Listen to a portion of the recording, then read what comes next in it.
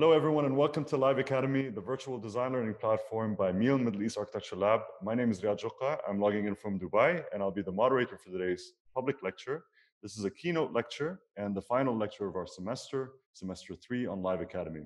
The lecture is given by Nader Tehrani, the founding principal of NADAAA and the dean of the Cooper Union School of Architecture. If you haven't already, please check out the last few classes we have on uh, Live Academy. We have a couple of technical classes that might be interesting uh, to you. Uh, you can check out those classes on www.liveacademy.tv. I'm very grateful and honored that Nader has made uh, time to present uh, to us his uh, work and discourse uh, of his practice, NADAAA. I had the privilege of seeing a lecture by Nader in Hong Kong and in Beirut, and by and to also visit some of his work, namely the ASOP interior project we were just talking about. Um, NADAAA is a Boston-based architecture and urban design firm led by principal Nader Tehrani. Uh, Tehrani leads a studio with partner Arthur Chang, AIA, who also leads the studio fabrication shop NADLab. NADAAA is a platform for design investigation at large scale with a great geographic reach. NADAAA's work has been exhibited in institutions including the Museum of Modern Art, the Boston Institute of Contemporary Art, the LA MoCA, and is part of the permanent exhibit of the NASHA and the CCA.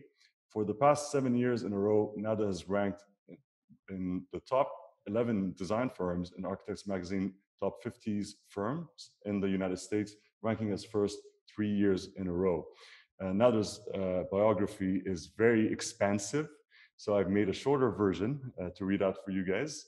For his contributions to architecture as an art, Nader Tehrani is a recipient of the American Academy of Arts and Letters 2020 uh, Arnold uh, W. Brunner uh, Memorial Prize. Nader Tehrani is the founding principal of NADAAA, practice dedicated to the advancement of design innovation, interdisciplinary collaboration, and an intensive dialogue with the construction industry.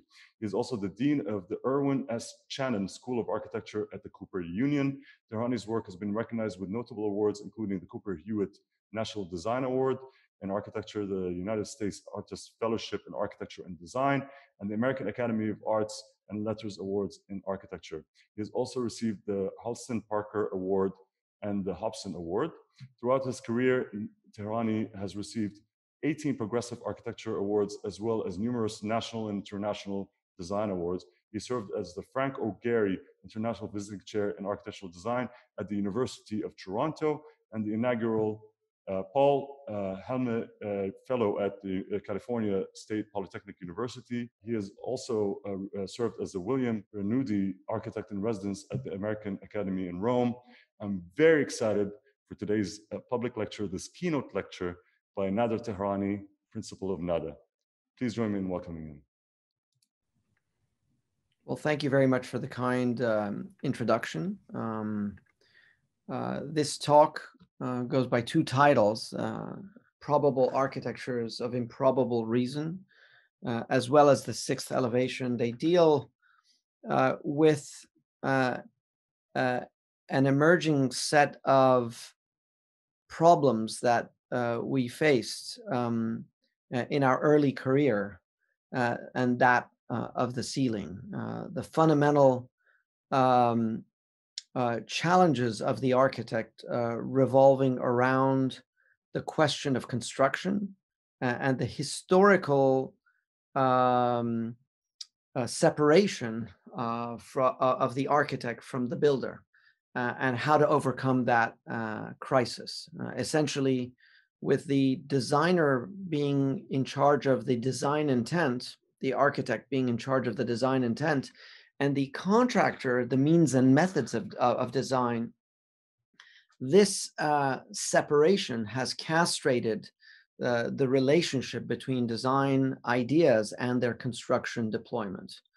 Uh, and so, uh, in the context of Mantra, this very uh, sort of um, uh, a small restaurant that we were designing uh, we were commissioned to design a hookah den within a 6,000 square foot project for which the hookah den had somehow emerged to uh, represent 80% of that budget. And that was just unacceptable for us. So we, we figured out a way to build it ourselves by um, essentially gluing the plan onto the ceiling, uh, dropping plumb bobs and exacting the locations of the intersecting connections between the plywood, uh, essentially enabling us to make it for a tenth of the cost that was proposed and uh, with a profit and then attending to the rest of the project around it for the rest of the uh, for the rest of the budget.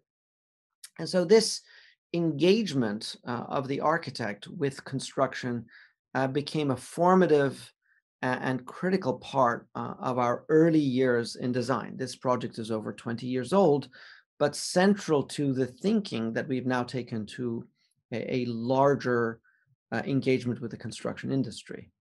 Uh, naturally, within this, uh, there is a focus in our practice on the way in which we can radicalize material usage, but also its figuration and how that material begins to um, uh, engage uh, people, um, uh, symbolism, uh, and the various ways in which matter can speak. On, on, the left side, of course, we can see the way in which the sculpting of that brick is wholly indifferent to the constitution uh, of its bonding.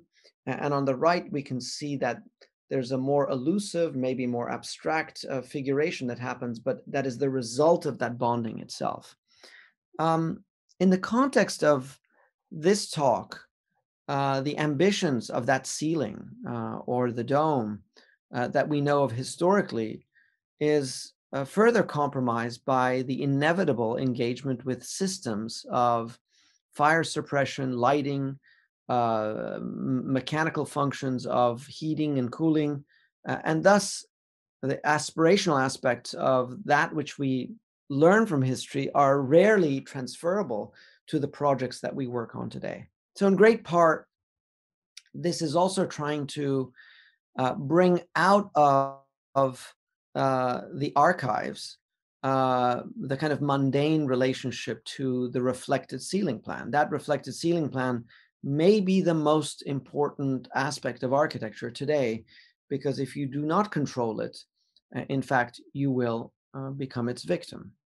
So uh, much of the work that we do revolves around not general ideas, but rather the generative detail, the moment in which a particular materiality or a, a way of its conception, uh, the detailing, can become deployed through and throughout uh, as part and parcel uh, of the project. In this case, um, the Tanderrum Bridge, which connects the Yarra River to their um, uh, tennis open uh, grounds, is a pedestrian bridge uh, that is designed uh, conceptually wholly of rebar, understanding that the bending of rebar uh, at different angles uh, has a mode and a means and methods all of its own. And trying to develop a structural system that has the redundancy uh, of latticing laterally and longitudinally was central to this conception. In other words, uh, instead of seeing a primary structure with skin around it, uh, imagining a bowstring truss that uh, evolves somehow with the maximum moment being at the center of its belly and developing through the braiding of that rebar this vast trellis that speaks to the experience of walking underneath it while also uh, acknowledging that two weeks out of the year, one is above that uh, skyline uh, and, and, and sees the horizon uh, of Melbourne with uh, the lighting, the, the guards, the railing as part of this experience. And so this idea of the wrapping of the rebar as a structural system uh, was a central part of this small folly in, in Melbourne. Now, conceptually, uh, you can see here that the ideas that are somehow woven into our work uh, are both top down and bottom up. Uh, the bowl and the nest in, in this image are effectively the same. Uh, what the bowl does is that it erases the evidence of its construction through its abstraction, whereas the nest, in the display of the blades of grass and the uh, twigs and, the detritus uh, shows us how the combinatory effects of, of all of these aggregates produce that vessel. And in which case, uh, also underscore the possibility of becoming, that that could have been formed into different figures, not just the bowl. So um, before I get to the main projects, I wanted also to somehow do an introduction that amplifies the many ways in which uh, this thinking has found itself into some of our larger projects, uh, but also uh, ways in which we've con- uh, construed the construction industry as part of that challenge. In the context of the Melbourne School of Design, we found ourselves with a scheme of designing um, the studio space as a vertical chamber within which all of the students come together uh, uh, and uh, form an allegiance in the design hall with a dedicated design studio and a suspended studio from the top that uh, is a totemic object, much like the tempietto or the staircase in the British Arts or the central uh, meeting room in um, Frank Gehry's Berlin building, albeit with a different aspirational quality. In these instances, the relationship between the figure and the ground, uh, the monument and the fabric around it, is more or less disengaged. We asked ourselves a different question. What would it mean if the structure of the ceiling were the host of this figure and therefore confluenced with it? In other words, knowing that we were needed to span 22 meters, how would we develop lateral bracing through coffers that are about three meters deep? And then suspend the dedicated studio spaces from that in massive timber elements that hang one, two, and then three stories down, but not touch the ground and hover over a more flexible ground in which the atrium may op- operate as a essentially a living room for the school. But then invert the proposition of a classical building that is usually foundationed on the ground and then built up and lightened up. This has its mass at the top, getting skinnier and skinnier uh, as it uh, gets suspended from top down. And in this sense, the veneer of that very structure acquires a structural quality as it's suspended over the floor. And so, from the top, conceived of as uh, massive timber elements that are glued together to form the truss, the coffered frame above, uh, is then incrementally suspended down, finally revealing the edge of its plywood as it goes down. At the top, you you inhabit that coffering system. Those uh, coffered spaces are really the spaces of the studio at the top, and by the time you get to the bottom, you are occupying uh, the space of the acoustic baffles that are underneath that suspended studio in their three quarter inch thinness. And so the, the presence of that ceiling, the reflected ceiling plan, and their performative functions, whether acoustic or structural, are part of uh, the way in which we've absorbed the responsibilities of the designer in its construction. A similar thing can be said of the uh, Daniels Faculty of Architecture, where we looked back uh, on the work of Felix Candela, knowing that uh, concrete shell structures uh, allow for uh, an, incredible variety of spans, uh, efficient in, in, their thickness, uh, while also engaging in larger propositions about how the hydrology and the daylighting of spaces may work. And so we absorb that as part of our thinking uh, of the Daniels building in the conception of its studio space, in this case, on the third floor of the building at the top, drawing in uh, from that structural system natural daylighting and a way of distributing the water all around the site to irrigate the landscape. Alas, our contractors told us that this was unbuildable, unachievable, and that it was a million dollars over. And we had to go back to the drawing boards and think, why is it that there's this incredulity in our ability to build this thing? Uh, it's a concrete building and therefore it should be achievable. But we all know that concrete buildings are, are built twice. Uh, the formwork is one instantiation of that building, the concrete is a second, and then the, the dismantling of the formwork essentially is the uh, byproduct of that and, and usually gone to waste. So we asked ourselves, what would it mean to build the entire building out of concrete, except for the roof that we could build out of a stick system? By building it out of a stick system, we could demonstrate that it's a ruled surface and therefore developable. And instead of using gypboard or sheetrock uh, on that ceiling, we can um, use a a a, um, a panel within which uh, we can embed the cooling system. In other words, where the heating is embedded in the concrete of the ground, the cooling uh, is in a um, panel system that uh, transmits the cooling systems from top down.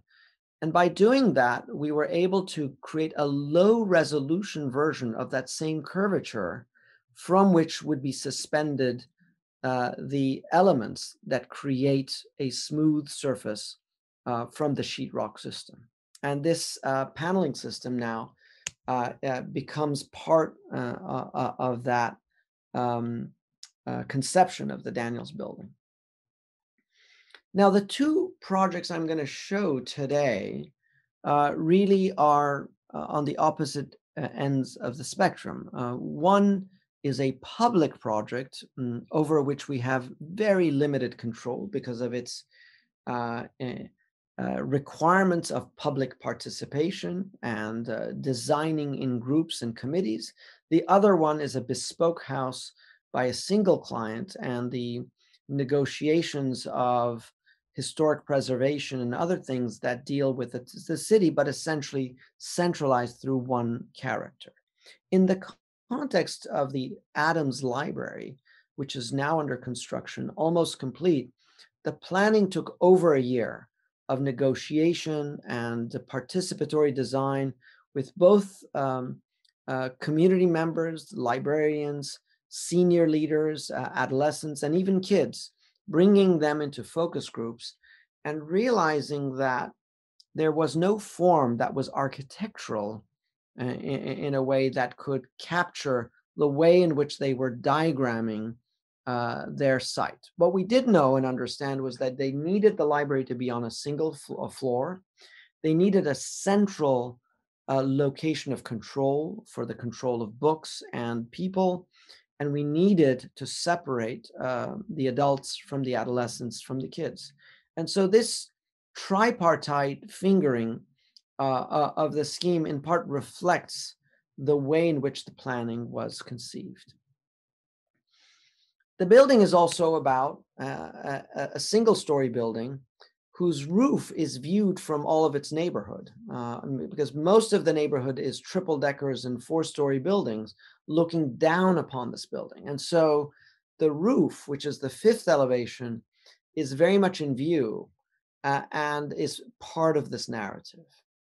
Now, conceptually, the main street uh, of that building is its storefront, and conceptually, it's thought of as a stoa opening up the front of the library to that space. And indeed, we use a civic, a large order to reflect the scale of the monumentality or the civicness of that front while breaking down that very same scale towards the rear where we create a pedestrian passage that connects to the residential um, uh, neighborhoods in the back reflective of the breakdown of roof scales behind.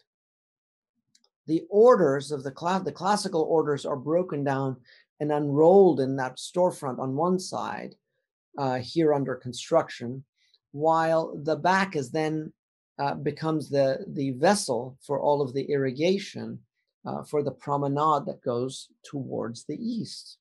And there you can see the breakdown of that roof line parcelized in relationship to each of the programs that it uh, captures. In other words, each pitch of each roof uh, is aligned with either a, the office of a librarian, a storage room, uh, an auditorium or the kids' area, uh, the scuppers of which capture the water and then bring it into the rain garden, here also under construction. The hydrology, of course, is uh, also uh, works in tandem with its relationship to the sun. Uh, the sun being on, of course, the southern side, in a mat building needs to excavate the core of the building to bring maximum light, particularly in the winter months, to uh, gain from the thermal mass of the floor the heating that it requires for the day. And so the overhangs, in a way, reflect uh, how that um, both gets protected and uh, invites the sun into the space.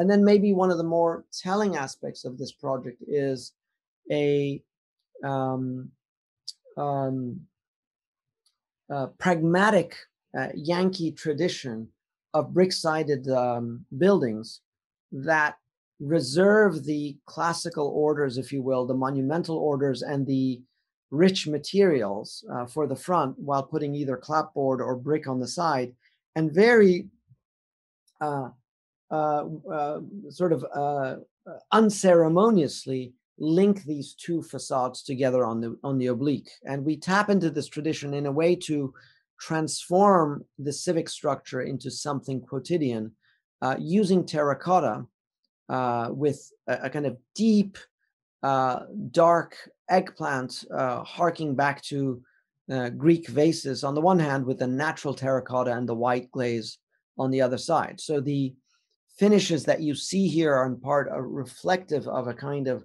grounding order of that terracotta, which speaks to the brick in Boston. Um, the, the natural aspects really have to do with a southern and northern garden, the northern garden with the existing oak tree, the southern with a, a series of new plantings that we bring to draw in the light uh, for uh, uh, the reading rooms, one in the south and one in the north. Here again, under construction.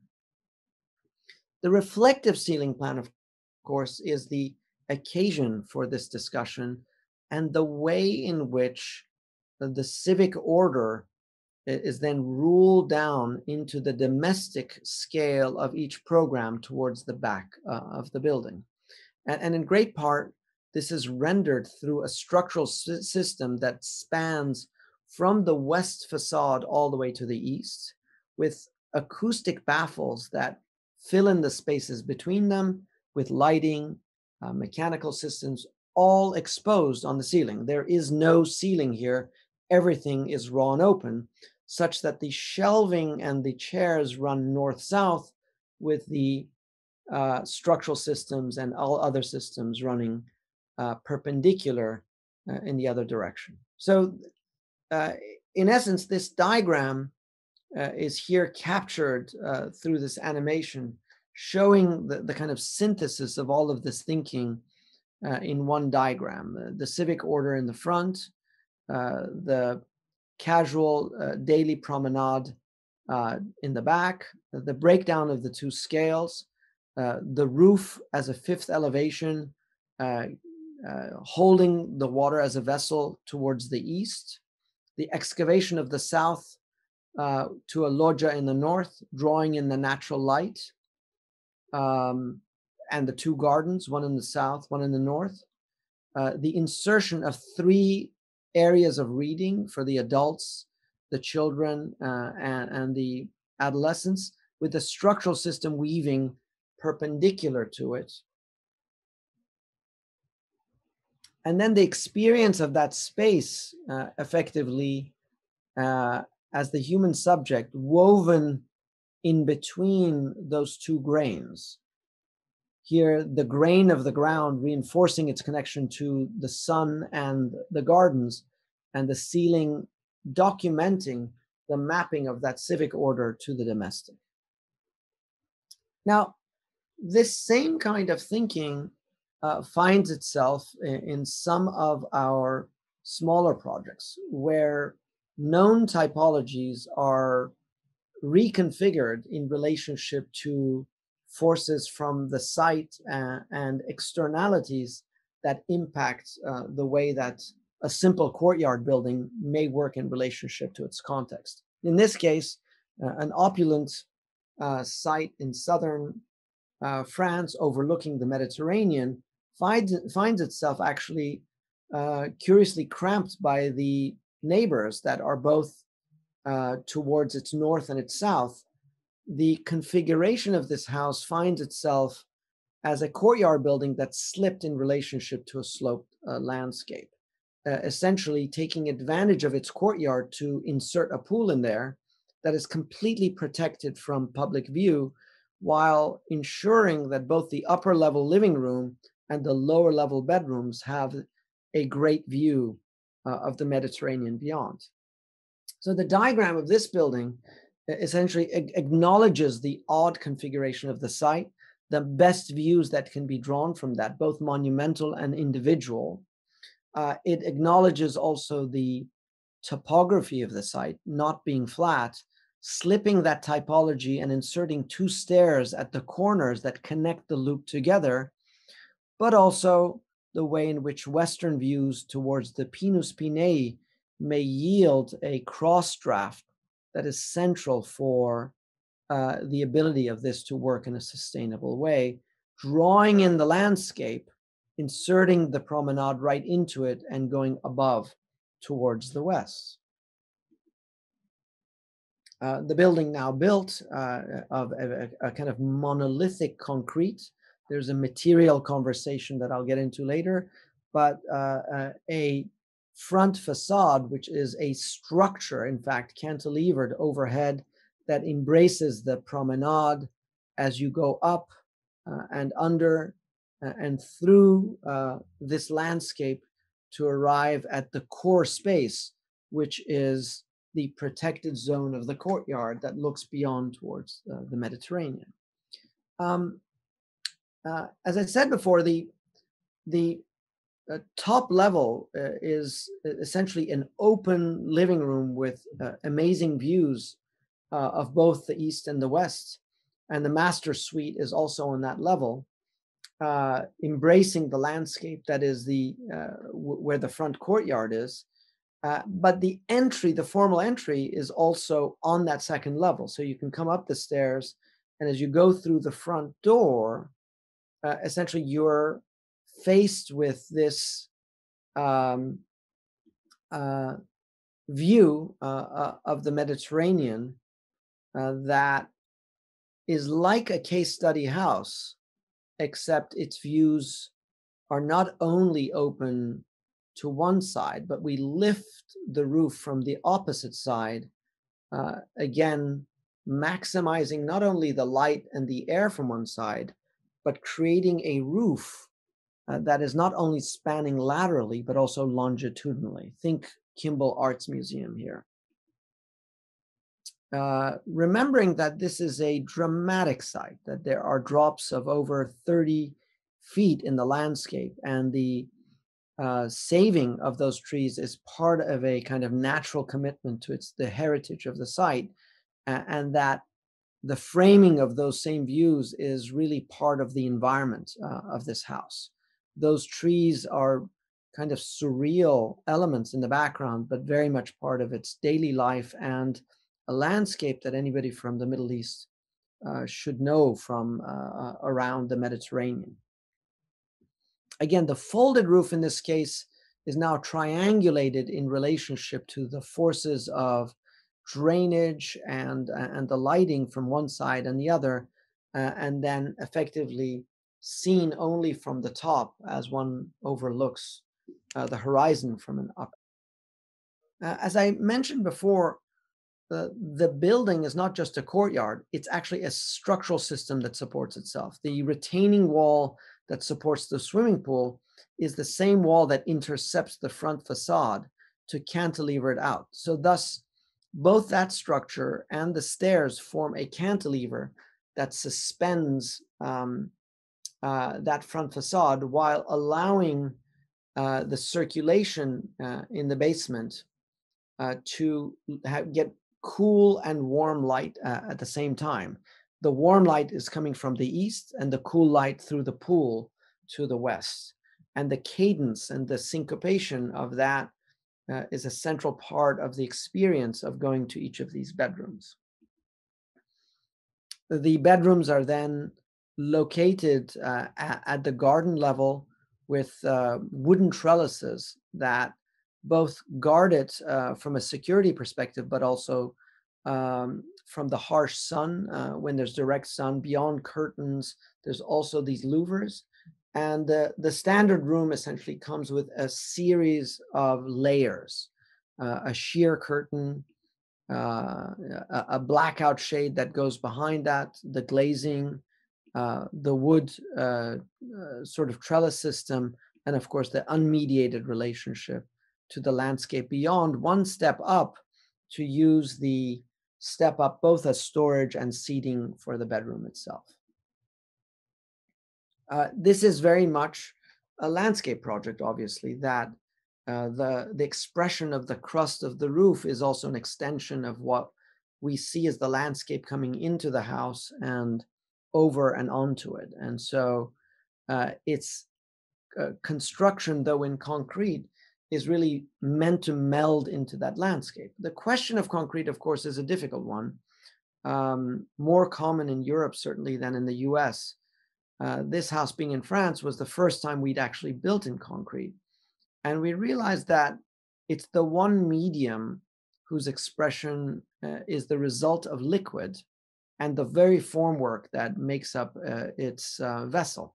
So the expression is either in the plywood or the aluminum that is its formwork, or uh, through post production work can be hammered out of it to give that expression. And we've seen beautiful fabric formwork, both historically from Fisac and onwards to contemporary work. So we tried one strategy whereby we would draw in rustication from that smooth surface uh, to speak to the landscape in a much more aggressive way, uh, looking at the smoothness of that front facade, but using the entry to rusticate essentially that uh, effect of entering in, the depth of that carving being expressed. And yet we found that almost um, too overtly representational. So we went back and we said, what is a second modality in which we could investigate uh, the material transformation of concrete? And really, the answer was in the aggregate itself. Our concrete is never a single material. It is. Uh, it, it, has um, cement. It has uh, sometimes admixtures and aggregates of different sizes. Uh, what would it mean to begin to challenge the size of those aggregates in the way that somebody like Wright may have done? But reserving the smooth for the interior and then casting in each different panel varied sizes of those very aggregates that may shift the figure ground of that wall to become a stone wall using the concrete merely as mortar in between, holding a classical stone wall in the landscape together as if it was a natural extension of the French landscape. And this transformation is a central part uh, of the conception of this house. Alas, this was not to be built this way because, in fact, uh, even uh, projects of some complexity have budgets. And so, uh, what ended up happening is that we realized that the aggregate uh, of the site has this reddish amber hue to it. And the sheer beauty of that color is something to behold in itself. And all we really needed to do was to sandblast the wooden formwork to let the sun do its work through the pores and, the grain uh, uh, of that um, surface. And so I'll end with this idea of the tectonic grain, uh, which has not to do only with the facts of construction, but how we would like the building to be read in dialogue with tectonics. Um, when we look at nature and we witness the graining uh, of the striping of zebras among other animals, we take for granted the way in which they attempt to camouflage themselves within that savanna. As I change the slide, we realize that this initial slide is in fact errant. Uh, the striping uh, of the zebra runs perpendicular to the torso and the legs, and the architecture that holds them together is the turning of the corner when the legs conjoin with the torso. But this reminds us that the work uh, of the architect is never natural uh, and that uh, the artifice of design is what makes the tectonic grain, uh, which makes for us a beautiful arena within which we get to play on the one hand, but also to hold the responsibilities that come with the design process. So, with that, uh, I thank you, and I uh, certainly uh, encourage um, questions should there be any. Thank you so much, Nader. That was such a packed lecture. I mean, there were so many ideas there and so many, uh, you know, great examples of your work, but also uh, it's really amazing to hear the process behind uh, your thinking. And maybe I'll start the conversation going, Nader, with the the idea of the roof. So we were talking about uh, the roofs of the markets in Kashan. In your opinion, past the pragmatic functions of a roof, which we're all familiar with, a lot of these uh, buildings that you've shown have this, the roof function as almost the most celebrated aspect of the building. In your opinion, uh, past that pragmatic function of uh, you know holding shelter and um, at the same time you know uh, hosting all the mechanical works and electrical works of what makes a building. How do you think a, a roof could be uh, also an essential expression in the building? I mean, obviously, the expression of all of these projects is in great part contained within the ceiling and the roof uh, in, in varied forms. Obviously, the roof uh, in the library plays a more formative role. I didn't really show an aerial, aerial view of it, but it's insinuated by it. My focus was on the ceiling, but it, it plays a formative role. Uh, there are uh, other projects like the Daniels building has a, a, a, very sculpted roof that is part of the skyline of, of uh, Spadina North. Mm-hmm. Um, so part of the roof, as we well know, is in giving identity to a city. Uh, there is no such thing as Florence without a Duomo. Right.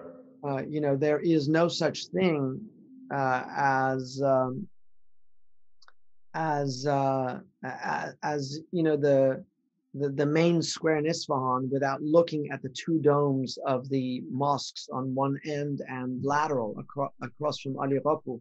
So these um, uh, form very strong symbolic anchors ar- around both cities and squares. But in our case, the terms and conditions uh, under which those would be formed have changed fundamentally because of the ways in which the roof is called on, the ceiling, the, the, the crust is called on to house all of these systems.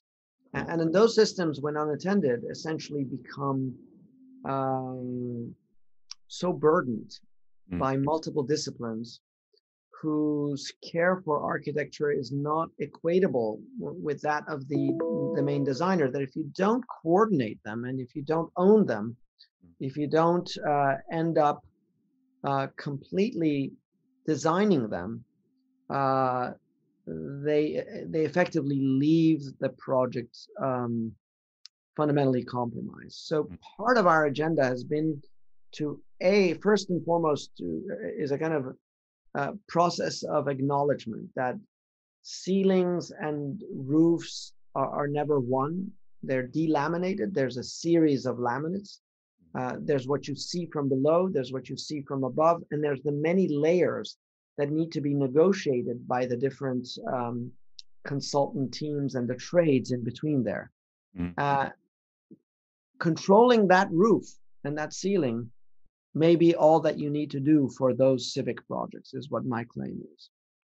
Mm. Now, of course, one may bury that that equation and say that there is, you know, there are buildings that you know where the facade is its main instrument of communication and and that that still is important, uh, and uh, and we acknowledge that. But I think that the most architects um, have left the problem of the ceiling to be designed by convention, which is why we see the population of so much detritus of diffusers and safety systems up there. And so to me, it's really important that we transform our own identity as designers by uh, taking on this problem wholesale. It's both a technical and a symbolic problem at the same time uh, and by also changing the attitude of society, meaning the construction trades, the contractors, and clients,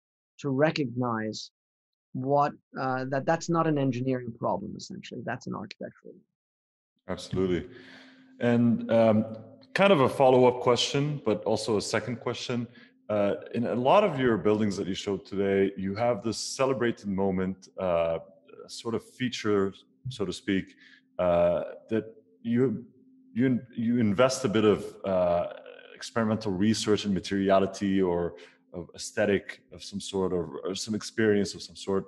Uh, how do you manage to convince the client that this is an investment worth taking? It's a tough one, and sometimes you fail. I mean, I, uh, as you may know, you, have also worked with uh, other places like Shop that have a lot of materials research in their back pocket we have uh, 8,000 square feet of space. 4,000 of it is dedicated to just a traditional design studio. The other 4,000 is a shop where we uh, explore and experiment on materials. Um, so uh, we are doing this research concurrent with many projects, but we don't imagine that all research is going to happen on the projects that we're working on at, the, at that time. And in fact, some of the concrete research that we did did not find itself into the house in southern France. So it will be transported elsewhere. But I think that if you look uh, at the portfolio of experiments we've done in the last 20 years through the installation work and some of the Biennale works, you'll begin to see that uh, there's a wealth of knowledge that emerges from that that we can then transport into different scenarios strategically. So it's been difficult. Um, there, there is no uh, easy answer, but I think uh, ambitious clients have come to learn that sometimes um, uh, that these things transform their identity to such a great degree that it becomes uh, of great worth to them. It's not just about the real estate; it's about something that happens in surplus to it, and so uh, some of that finds its way into the work. And certainly, the suspended studio in in Melbourne was case in point. They had to value engineer the studio space out out of the building entirely. So we transformed that studio space into the vertical arena and suspended that studio, and then all of a sudden came in within budget.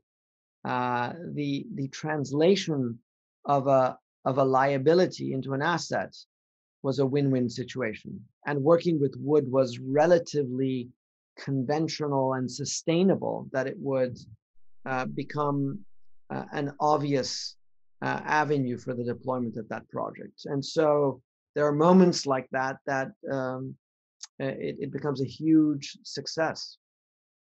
One thing that i it's just a note one thing that i found extremely inspiration as a inspirational as a founder of my own studio was the way you explain those moments in your work to a point where it becomes almost unreasonable not to undertake this uh, experimentation or this moment of uh, the project. Uh, we have a project here. Uh, sorry, we have a question here by Nada Khalid, uh, who's asking: Digital fabrication in a way encouraged uh, a return to the pre-Renaissance idea of architecture as a mechanical craft, uh, buildings made by artisan workers. Do you see the work of NAD Labs uh, as other than to experiment with design, a way to bypass budget limitations or to maintain a, a level of craft? How do you argue its value in the contemporary architecture office? Well, I, I don't think of uh, Nada's questions as questions. She has articulated uh, the the multifaceted way in which NADLab works. It, it is a way to experiment with design. Uh, it, it is a way to bypass uh, budget limitations. it is a way to minimize tolerances to get uh, better craft. Um, uh, so its value, uh, in great part, is that it gives clients uh, the ability for customization uh, in in a marketplace that still knows standardization as the benchmark of of you know the rational deployment of a project. Uh, and so uh, digital manufacturing as we all know uh, gives rise to the era of mass customization. And you know the question is uh, is not what its value is. Uh, the question now has become what is what is the decorum for the use of now that you can build anything and everything that you want why should you build it? There is still a question should just because you can do something does it mean you should do it. And so i think what the the key thing that we've had to confront in the last 10 years is not how to elaborate manner and exploit these things. It's also a question of how we can become better architectural critics curators and editors of our own work, mining out of what we do the critical constraints that can become attendant to larger questions about how one deploys materials, uh, energy, and a connection to the community that a, project serves.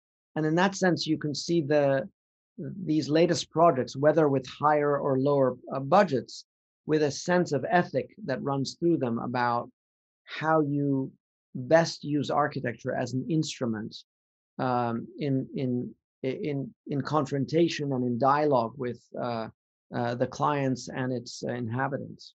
Great, uh, Nader. Thank you so much for your time. I know you're uh, you have a meeting after this. I really appreciate the time you put into this and uh, to to present your brilliant work to our audience. Appreciate the connection to yourself, and I hope we stay in touch. Thank you so much. Great pleasure being here with you.